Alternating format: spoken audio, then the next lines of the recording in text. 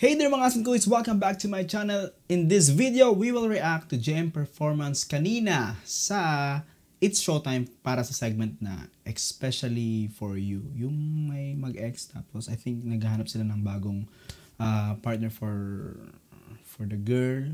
Wala, di, ko, di ako masyadong sure doon. Pero parang ganun kasi pag napapanood ko paminsan. Uh, yung mga clips lang. Hindi, hindi talaga ako nakakanood ng buong, buong segment na yun. Pero you can write your comment kung tama yun or ano ba yung ginagawa talaga doon. Pero kasi, yes, mayroong performance si JM nung nakapili na, I think, yung girl na pwede niyang makadate. Ayan. So, yun yung papakinggan natin. Yung performance ni JM. Na syempre, alam niyo yan na sinusundan natin sila talaga. And nanood tayo ng kanilang In Harmony concert last December 9 sa Music Museum. It was a very successful one and sold out. At talagang nag-uumapaw yung suporta ng audience, yung hiyawan, yung pagmamahal, yung adoration to the both of them sa kanila ni Mariel. So tara, pakinggan natin si JM. GJ.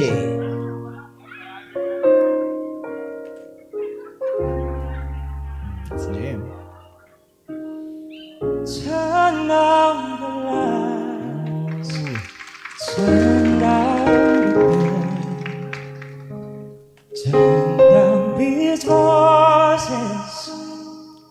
Head. Yung mga ganito ni JM, bagay na bagay sa kanya yung song. Talagang yun pa yung, at saka yung pag acoustics lang, no, uh, unplug lang, tapos purely voice lang talaga yung marinig natin, dun nakikita, eh, dun naririnig natin kung gaano kaganda ang boses ng isang mga awit. Diba? And, uh, grabe. Hagod pa lang eh. Ang champion na talaga. Tsaka, iba. Uh, with feelings. For sure.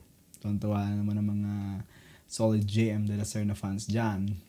Lay down with me. See, yung lay. Yung pagkasabi niya nung lay. With feelings eh.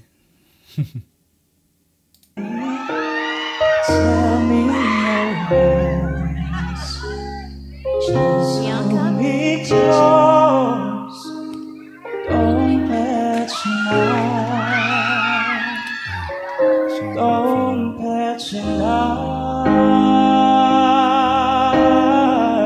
me. Nice, nice uh, vibrato there, JM.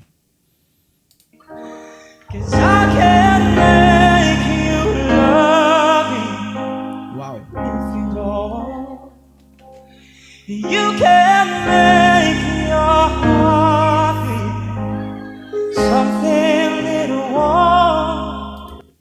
Ang ganda ng effect. Pati ng uh, recording ng Showtime. Nice, nice. Lutang na lutang yung boss ni JM. Ah, ganda, ang ganda ng chorus. Sana meron full version nito si JM.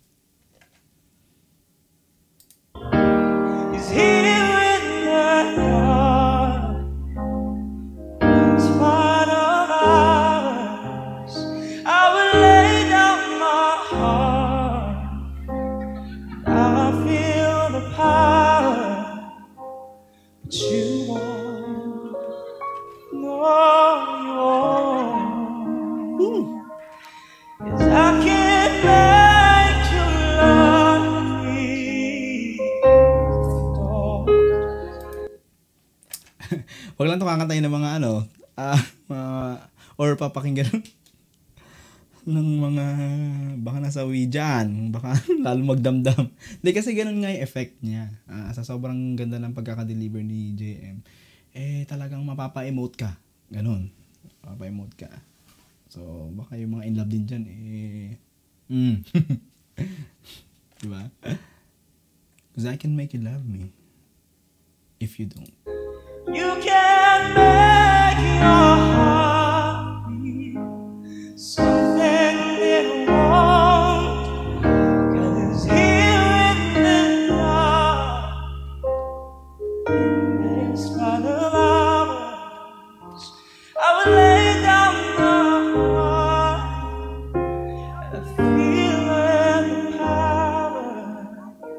Nag-usap ba sila? Yung dalawang sa gitna, si Bianca and GJ. Or pinapakinggan lang nila si JM. Pero may ganun talagang segment. I mean, may ganun talaga na may kumakanta. Ba? Ah, kasi special guest si JM eh. You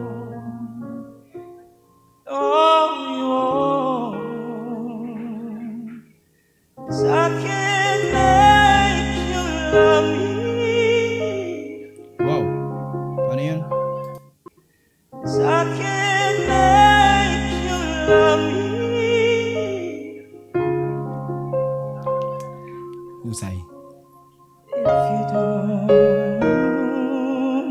Para sa mga pusong patuloy na aasang darating ang kanilang nakatadhana, this is especially for you at magbabalik pa ang It's Showtime. Sumakto yung voice over ni Chang Ami sa malamig na boses ni JM. Tsaka yung sa, of course, sa pag-accompaniment din ni whoever is our pianist there, ni Sir. Sobrang galing. Hindi nagkamali, syempre. Yan. Um, pili tayo ng mas ano ni JM na thumbnail.